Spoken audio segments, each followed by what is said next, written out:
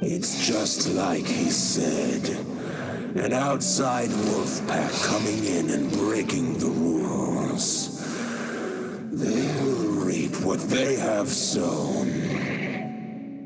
But Razor, you must not get involved.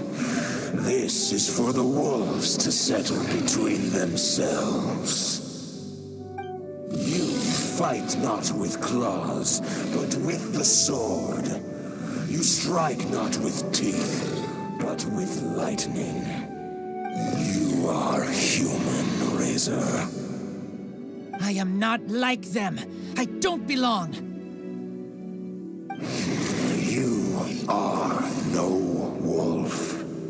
This is a matter for the wolves, and the wolves alone. And you, are Razor's amongst humans. Your nobility stands out against others of your kind.